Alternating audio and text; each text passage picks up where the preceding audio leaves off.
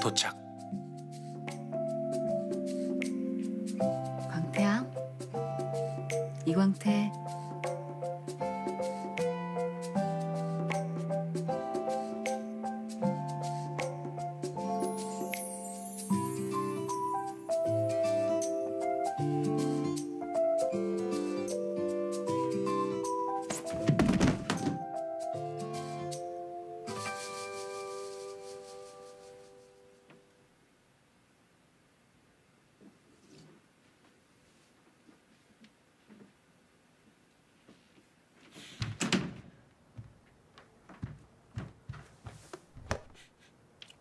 익었네 익었어.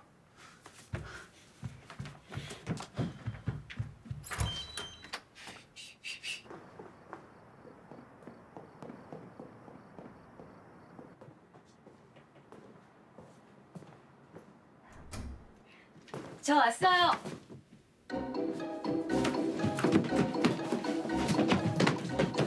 어, 죄송해요. 저 때문에 이러는 줄 알고. 김치 냄새 나서요. 그새 익었네요. 들어와요. 다 익었어요.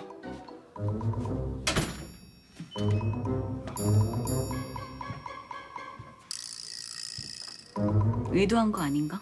들켰다. 봤어요?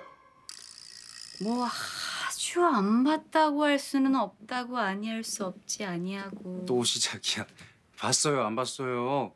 꼴랑 바지 하나 입으면서 비실대는 거 보면 안 봐도 뻔하지 뭐. 다시 보여줘. 봐요 그럼. 누가 사양할 줄 알고? 졌다. 원하는 대로 갖고 가요.